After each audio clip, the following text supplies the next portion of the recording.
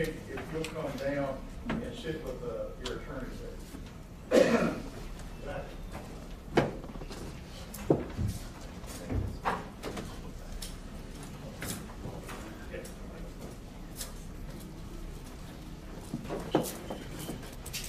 You saw us first, right? Yeah, this one, yes, yes, you're true. Yes.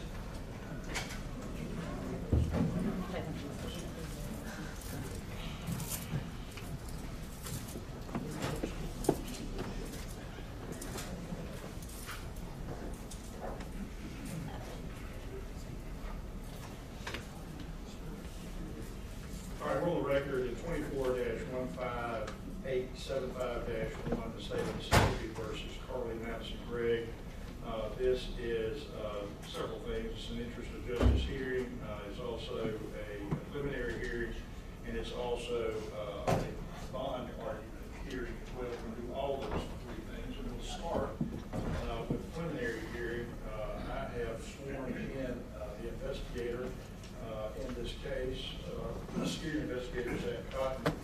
The state is represented by Honorable Brian Berry, uh, the defendant represented by Honorable Bridget Todd, Kevin Camp, and Caleb Coleman, who I believe, Mr. Coleman and Ms. Todd are here representing, uh, Ms. Gregg. All right, that being said, uh, and I will tell the, uh, audience too, as it relates to a preliminary hearing, our, most of our experience with uh, courtrooms is on TV, uh, and we understand from our TV watching that, you know, they talk about uh, beyond a reasonable doubt. That's the standard, the burden of proof in a criminal trial. That's not what this is today. This is a preliminary hearing. What a preliminary hearing is, is it reasonable, one, to believe that a crime has been committed? And two, is it reasonable to believe that the defendant committed the crime? That's it. So while beyond reasonable doubt up here, the standard for probable cause is now here. Uh, So I just want to make sure we all understand that uh, as we go through this process. All right, so uh, I mentioned that Mr. Uh, uh, Investigator Cotton has been sworn, is on the stand. Mr. Berry, you can go ahead. Thank you, Your Honor. Now, before I proceed, uh, I know this is a preliminary slash bond hearing, so the state will probably list a few more facts that are needed for probable cause, just so the court can make full determination as to. Fair enough. Okay. State your name for the record, This is Zachary Cotton, and uh, where do you, Rankin County Sheriff's Office. and what's your? Investigator. Were you working on March nineteenth, twenty twenty-four? Yes, sir. Did you get a call about a shooting that day? Yes, sir. Could you tell the judge about what the call was about? Uh, our dispatcher received a call, um, the person on the phone was frantic. The exact details were not clear, but it was something to the effect that their, uh, child had shot at them and, sh- and shot them in the neck. Um, deputies responded to the scene,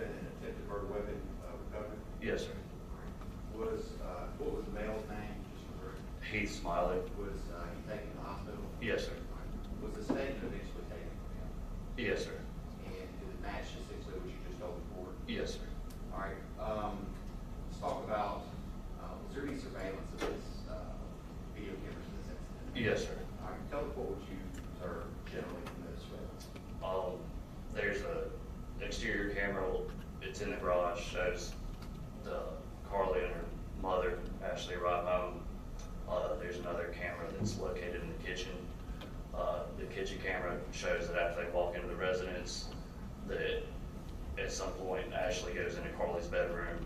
Carly goes outside with the dogs. Eventually, Carly comes back in after Ashley's taken some items out of Carly's room. Carly walks back in and notices her mother is in the bedroom and then proceeds to walk in the direction where uh, Ashley and Heath's bedroom is. You see her come back into view of the camera. She has her hands concealed behind her back out of view, view of the camera.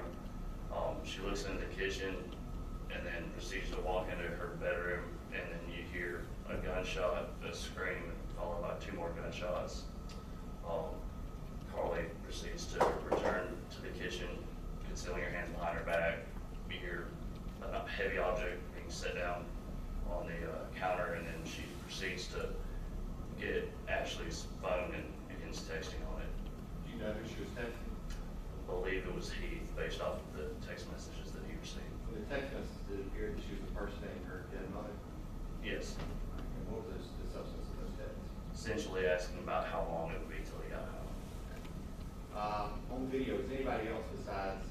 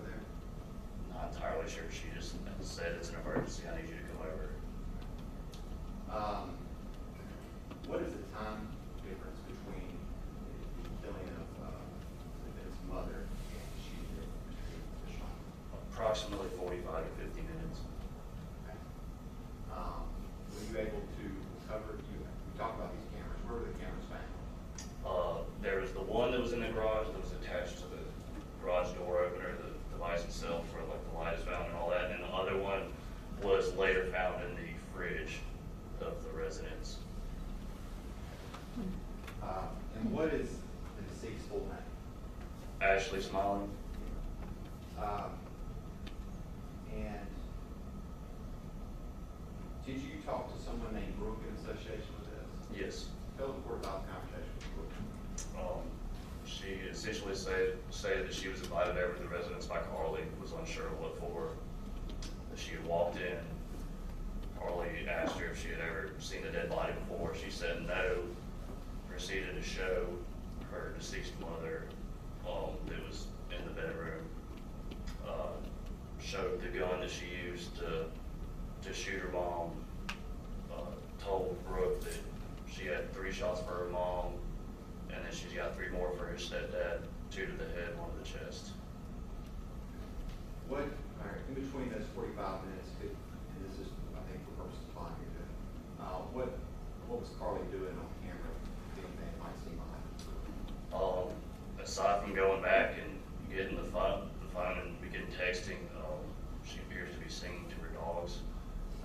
was sure, the, audio is not really clear about what she's doing, and then not long after that, the camera. Did it appear she was aware of those cameras?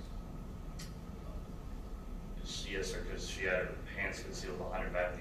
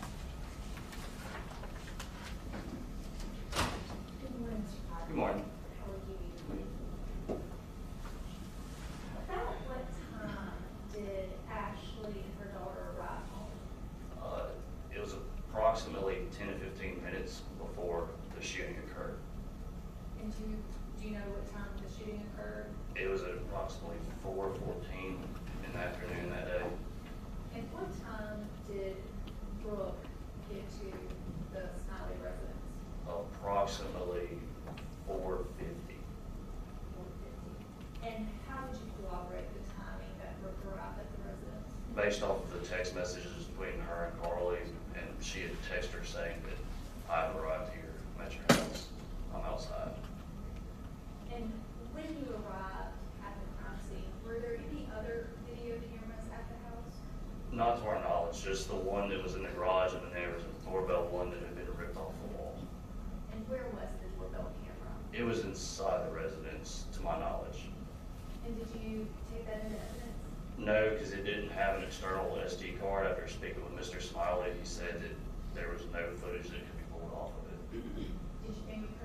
No, sir. No, ma'am, sorry. And when did you first speak to Brooke? Later that evening. Would you? The, the date that it occurred, the nineteenth, yes, ma'am. When did you first learn that there was a second person in the home?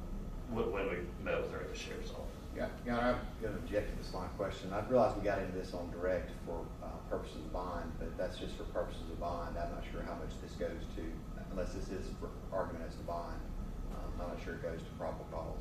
Uh, it- it- I'm gonna let you go uh, a little bit beside that, I don't need a whole lot on this. Uh, I'm sorry, and you can answer. Uh, Sorry, can you repeat the question? Yes, and when did you first meet Brooke? Uh, it was approximately eight or nine o'clock that night. I'm not sure the exact hour. Of, of the March nineteenth? Yes, ma'am. And how did you learn that there was a second person at the home? She had come to the sheriff's office with her father. And were you aware of, uh, this, what if these statements did Mr. Smylie make to you about Carly's state of mind at the time of the shooting? Um, I did not speak with him directly. I know uh, an investigator went with him to the hospital, but he was extremely distraught and it was hard to get anything out of him, um, due to the circumstances.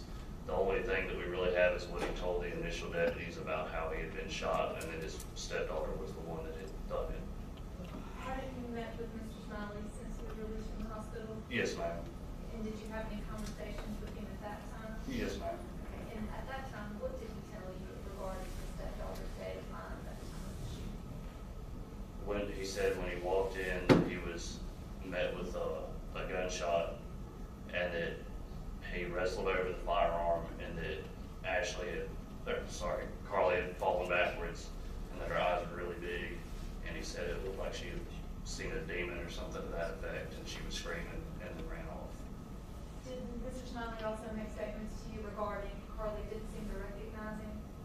It's something that, uh, he said he believed that, uh, at the time that he thought that maybe she had thought that there was, uh, someone trying to break into the house, something to that effect. Um, and did he also make a statement that Carly did not seem at the right time? Uh, something to that effect, like she had seen a demon.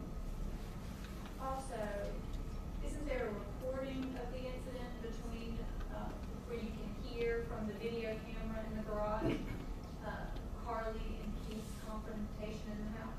Uh, yes, ma'am, some of it, yes. And how would you describe Carly in that video recording? You can just hear screams, you can't see anything. So I, I was not sure who the screams were, if they were Heath or Carly, but there was screams. He asked Carly what's going on, something to that effect, and then that's, that's the end of the audio, until you see her run off. Does he also make a statement in that audio recording where he announces, Carly, it's me? Uh, I I believe so, yes. So would that seem to imply to you that you did not believe? Your she Honor, object, I'm a going to call for speculation as to what somebody. Object as to speculation. Uh, Yes, state. The same. And to your knowledge, what medication was Carly taking at the time of this incident? Your Honor, I object as to relevance. Your Honor, goes to our argument for law. Okay. At the initial date that this occurred, there was no knowledge of her taking medication. At the time that she was arrested, it was later found out that she had been on some prescription medication. And do you know what prescription medication that was? Not all of it, I believe she had been taking Lexapro. And do you know how long she'd been taking that for? It was to my understanding, she had changed it at the end of the week beforehand, but not sure the exact date. The end of the week before the incident? Yes, in the prior week, yes, ma'am. So somewhere around Thursday, Friday before Yes, ma'am. the incident happened that Tuesday? Yes. Is that accurate? Yes, ma'am. And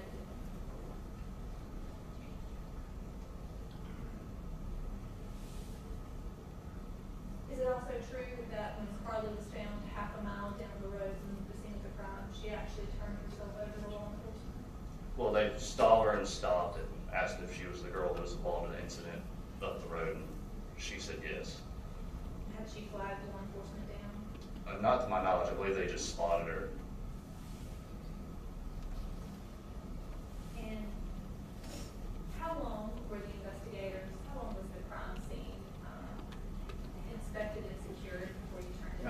Object as to relevance. I'm not sure what this has to do with probable cause or bond. What is the role, Mr. Stockton? Your Honor, it just goes to, um, all of you for bond that Charlie's home has been disarmed. You heard Thomas what? Her home is no longer a crime scene under investigation. Mr. Perry? I think we could just ask, is there, is there, about the crime scene, I don't think it has to get into the times of that. Uh, I'm gonna sustain the objection, ask the next question. Uh, Are you still investigating the crime scene or has that been turned back over? At the residence, Yes. it- it's been turned back over. And she's crazy. What else did Brooke tell you in her statement? As far as what, essentially that she had gone over to the house, that she didn't know what she was going there for. That she had showed off her dead mother and then asked her to go outside and she was about to, the heat was about to be home. When did Brooke leave the residence? At the same time, Carly did. So Brooke was there at the time of the second shooting? She was in the backyard.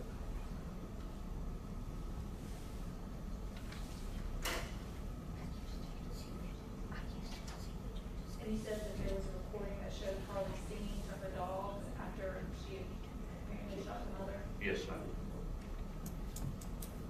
What else have you talked, talked to in regards to this investigation? Your Honor, again, I object as to relevance as probable cause. Sustain.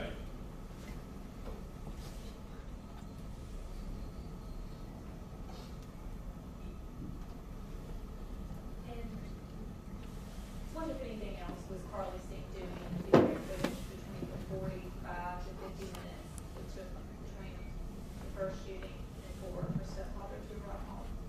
Um, she comes into view in the kitchen, gets the phone, starts texting, uh, what we believe is Mr. Smylie, then walks back into her room, and then she walks back in and appears to let the dogs out, and the camera gets unplugged.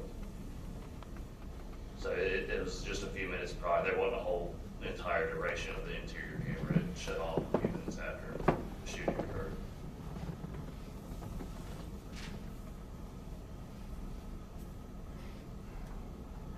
And once you, where was the mother's body found? In Carly's room, And how many gunshot wounds had she sustained? three. Three. And where were those gunshot wounds? She had one, two inside of the face and one underneath the chin. Um, And were you able to recover the bullets? Yes, ma'am, two of them. Well, the projectiles, Um, And how many bullets were you able to recover from the crime scene overall? There was some fragments that were shot at Mr. Smylie that were recovered. And then, um, there was none of the one from Miss, uh, from Ashley that was recovered, the other two were recovered during autopsy. But all three bullets, uh, but all three bullets that were fired at Ashley actually made contact with her? Yes. And how would you describe the bedroom in which Ashley was found? Again as to relevance, Your Honor, as to probable cause or to bond. What is relevance? Your Honor, we're just going into, uh, Your Honor, part of their investigation and, um, questions as to whether or not what's being described, uh, is in line with, uh, information from other witnesses. Well, you know, this is, uh, not a discovery opportunity, this is a preliminary hearing and a bond hearing, so I'm gonna sustain the objection.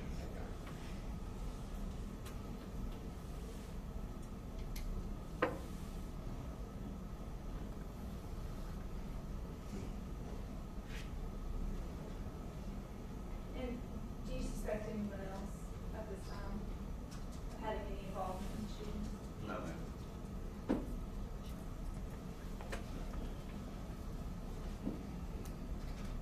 No further questions, Your Honor. Mr. Perry, you redirect. Just one follow-up based on her uh, cross-examination. What, if anything, did uh, the defendant tell, uh, I believe it was uh, Jordan at the jail? Uh, when, um, she was provided with her paperwork to shut her bond, she made something, a statement to the effect of, oh, you can kill somebody and pay a lot of money and get out of jail. No further questions, Your Honor. You said, state everything else. Nothing other than argument, Your Honor. Okay. All right, at this point, uh, these are the rules of uh, civil or criminal procedure as it relates to preliminary hearings. We'll get into the bond here shortly, uh, but Mississippi Rule of Criminal Procedure six point two dictates that, uh, at the close of the prosecution's case, which is, hap- has happened now, which includes the cross-examination of the prosecution's witness by the defendant, which also took place, the judge shall determine and state for the record or state in open court whether the prosecution's case established probable cause. Uh, so that's where we are according to the rules at this particular point. Uh, Ms. Gregg is charged with count one, first degree murder that she had feloniously caused death to Ashley Nicole Smylie. Uh, charge two, attempted murder that, uh, she did attempt to cause death to Heath Herndon Smylie, uh, shooting him with a handgun. Uh, those are the two charges.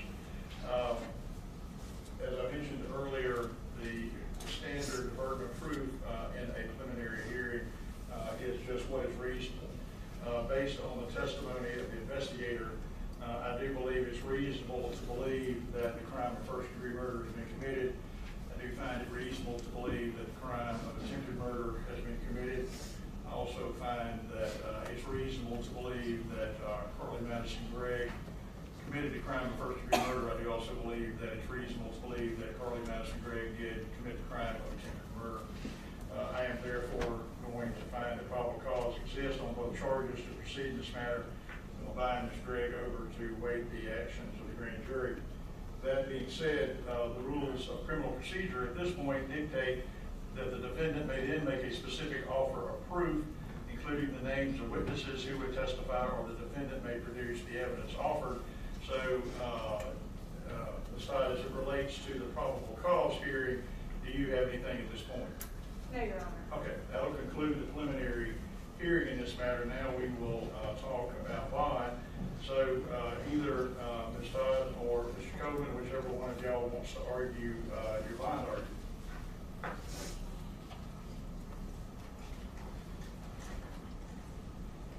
Please Yes, report. ma'am. Uh, Carly's precinct bond is currently at one million dollars. Carly is fourteen years old, has no prior criminal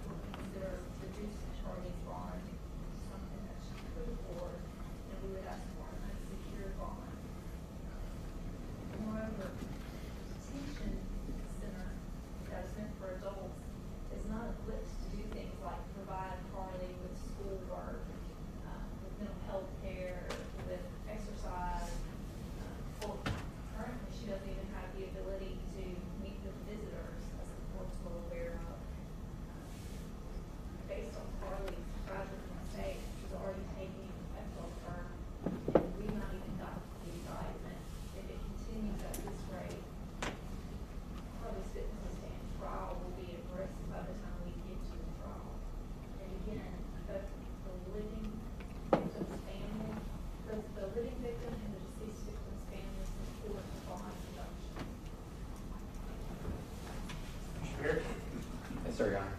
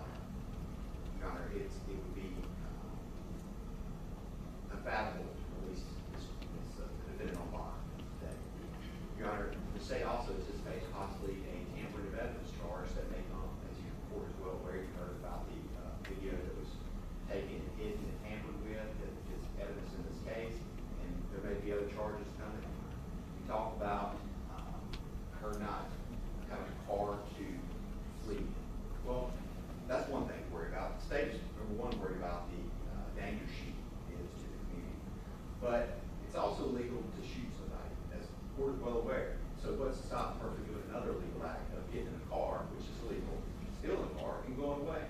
You know, if we're opening that door, that's, that's where we're going. But if you look at the, uh, if you look at the, the factors on bond, which the court is supposed to go to, yes, uh, rule eight point two, right to release. And I didn't hear a whole lot of specific allegations on that. The state would point forward to Article three, section twenty-nine. The state would ask that you deny the motion to reduce bond. In fact, the state would ask you to hold her without bond pursuant to Article three, section twenty-nine. So you have a pending written motion for Article three, section twenty-nine?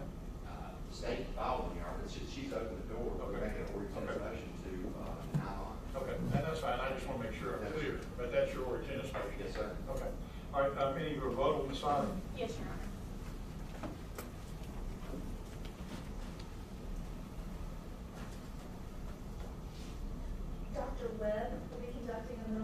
Evaluation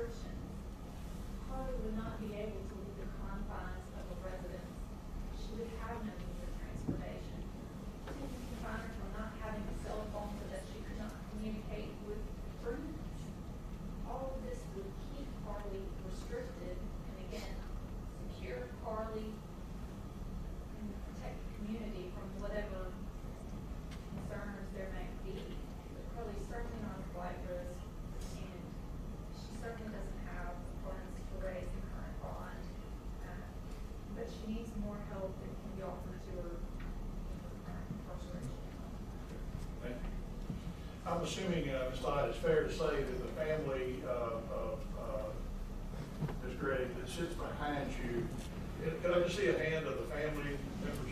Uh, is it fair to assume that family members, your argument, you can push your hand, Is- is it fair to say, well, let me ask you this way, anybody that held your hand up, if you disagree with anything Ms. Todd said concerning Ms. Gregg?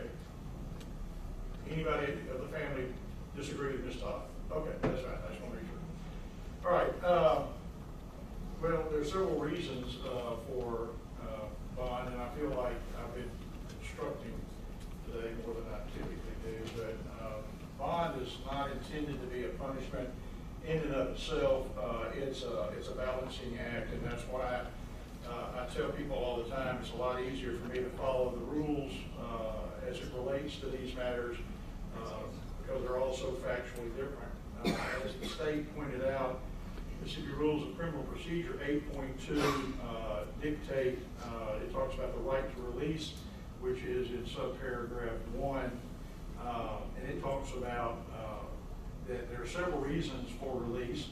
Uh, One, it has to, we have to be assured of the defendant's appearance as required, or that the defendant's being at large will pose, whether it poses a real and present danger to others or to the public at large. And in that calculation, it goes through fifteen different um, items that need to be considered, uh, which I'll briefly go through uh, for purposes of the record. Uh, Ms. Gregg is fourteen, about to be fifteen, if she's not already, it's, her- it's her birthday in April. Uh, She does, uh, I do appreciate her, her intellect and her success at Northwest Rankin. She clearly has a lot of family ties and relationships.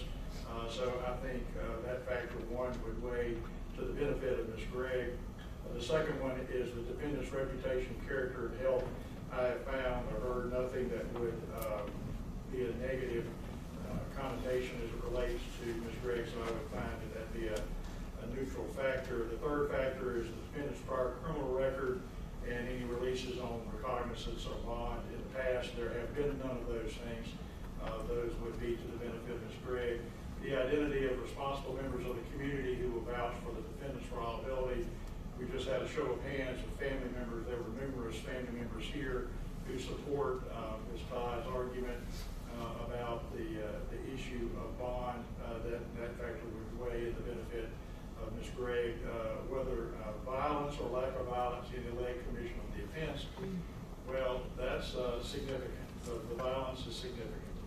Uh, Not only is the, uh, the best evidence today, the testimony was that the violence to- with, with the mom was uh, to such an extent that it doesn't appear to be any great argument prior to, it just, it seems to me that the defendant walked into her bedroom where her mother was and shot her three times, twice in the head. So, uh, and then laid in wait, uh, played with the dogs, laid in wait for nearly an hour waiting on stepdad uh, to come in, then shot him multiple times, or shot at him multiple times, striking him at least once. So violence uh, is pronounced, the violence is significant, uh, that clearly weighs against Ms. Gregg. The nature, item six, the nature of the offense charged, uh, the apparent probability of conviction and the likely sentence, uh, in, insofar as these factors are relevant to the risk of non-appearance. Uh, it's a murder, it's a first-degree murder charge, it is an attempted murder charge, probability of conviction is high, the likely sentence, uh, is gonna be significant, uh, I understand because she's a minor at the time the events were uh, committed, that, uh, there may be some leniency on the back end of that, but in any event, uh, the likely sentence is gonna be, uh, long-term, and they are relevant to the risk of non-appearance. That factor would weigh against Ms. Gregg. The type of weapon used, it was a handgun, uh, used here, uh, I believe, it sounds like a revolver, but in any event, doesn't matter. Uh, it was a handgun that was used against, uh, both, both victims. Uh, number eight was, uh, the threats made against victims or witnesses, that's not applicable here. Number nine, the value of property taken, it's not applicable. Number ten, whether the property allegedly taken is not applicable here. Number eleven, residence of the defendant, including consideration of real property ownership, length of residence in the defendant's domicile. Uh, Gregg is a Rankin, Ramsey County resident. Uh, she's too young to own, uh, real property, uh, and I would assume she spent most of her life here, but at least, uh, we know the last couple of years apparently. Well, that factor uh, really is of uh, neutral content. Number 12, the case, the case where the defendant is charged with a drug offense, that's not the case, so that's not applicable. 13 is consideration of the defendant's employment status and history. Uh, We have, as. Todd pointed out, she's 14 years old. She uh, has no employment, uh, she has no uh, work history, so that's a neutral factor. Number fourteen, sentence enhancements, if any, including the charge, in the charging document, which we don't have at this point. Uh, number fifteen, any other factor, circumstance bearing on the risk of non-appearance from the danger to others or to the public. All right, that brings me to Article three, Section twenty-nine, which the state has made a Lori Tennis motion to deny bond, uh, to the defendant, uh, and Article three, Section twenty-nine of the Mississippi Constitution, uh, indicates that, uh, you know, in paragraph two, uh, and three, paragraph two dictates that if a person is charged with committing an offense is punishable by death, life imprisonment, or imprisonment for one year or more in the penitentiary, uh, and that, uh, and that upon hearing finds probable cause that the person has committed a felony. That really doesn't apply, that's paragraph two. We go to paragraph three, it charges an offense punishable by imprisonment for a maximum of twenty years or more, or by life imprisonment, which is certainly applicable here. A county or circuit court judge may deny bail for such offenses where the proof is evident or the presumption great upon making a determination that the release of the person arrested would constitute a special danger to any other person in the community, or no condition or combination of conditions will reasonably assure the appearance of the person is required. I do believe that uh, Ms. Gregg does pose a special danger uh, to others. Uh, I, I, I mean, I know the family knows it better than I do, but uh, the heinous nature of the crime, uh, the uh, premeditation that seems to have been involved here is pronounced. It's, it's severe, and it, it does concern me, it does concern me that there is a danger, Ms. Gregg, whether there's a mental component to this or not. Uh,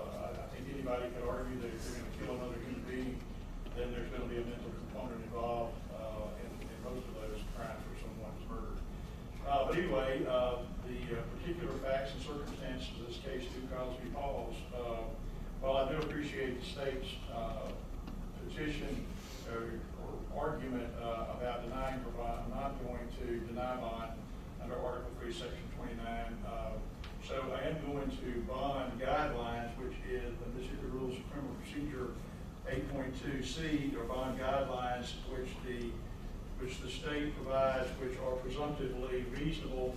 The defendant has made an argument uh, for an unsecured bond, which is completely inappropriate uh, on a murder charge. Uh, an unsecured bond would be you put up absolutely no money, and they would have no skin in the game, as I call it, uh, for appearance purposes or risk purposes. So that would be clearly off the table. Uh, Eight point two C, the bond guidelines dictate that for capital felony, the bond uh, guidelines are twenty-five thousand to no bond or no bail allowed. Uh, Manslaughter or any other non-crime, non-capital crime involving, involving the loss of human life, ten thousand to a million dollars. Uh, You know, uh, it's easily, and then the non-capital offenses punishable by maximum of twenty years or more, twenty thousand, two hundred fifty thousand dollars. Million dollars is on the high end of the range, but it is within the range. Uh, I, I- I have some compassion for the, uh, the defendant's particular status in life, being young and being exposed to this. Uh, I do find that, uh, I do believe that it is difficult to be in isolation twenty-three hours a day. I, I get that. I I don't think I don't think I would enjoy that either. Uh, But uh, as the state points out, when you commit crimes uh, of this nature with the violence uh, involved in this crime, uh, with proof being so, uh, so heavily weighed against the defendant even at this point, uh, that uh, there is uh, too much cause for concern on my behalf. I'm going to leave the bond uh, at the upper end of the range, which is a million dollars at this particular point, and I will be open to anything changes down the road. If we end up with more information, more facts, Ms.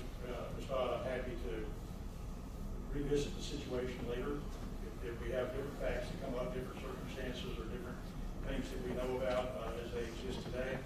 Uh, So uh, I am going to set a bond uh, at a million dollars uh, collectively for the two charges. In addition to that, were she to bond out, she can, she must appear in court when required, to comply with all orders of the court. She has to notify the court of any change of address. She cannot commit any other crimes, which usually is the one that trips people up. Not possess, be in the presence of weapons of any kind. Has to uh, uh, be involved in an online school system. Uh, If she is, if she does make bond, she has to obtain an alcohol and drug assessment and comply with those recommendations. Cannot consume alcoholic beverages, illegal drugs, or misuse prescription drugs.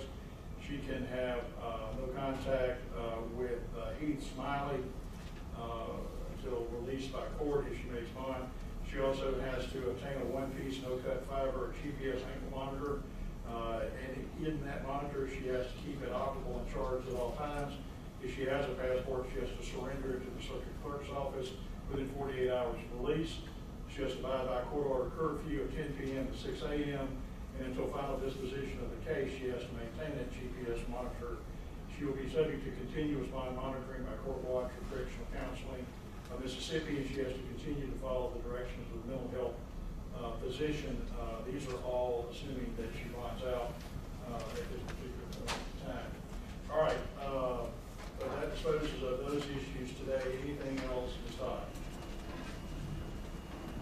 No, Your Honor, other than she's not allowed any visitors, uh, while at the detention center. However, I believe the maternal grandparents would like to Yes. visit And, with her. All right, I'm gonna tell you the same thing, uh, I told Mr. Walker a while ago. If- When you leave here, uh, if you go behind to the jail to, hit the intercom button, talk to Jordan, and just tell Jordan you just left out of here. I talked to Jordan in the hall earlier.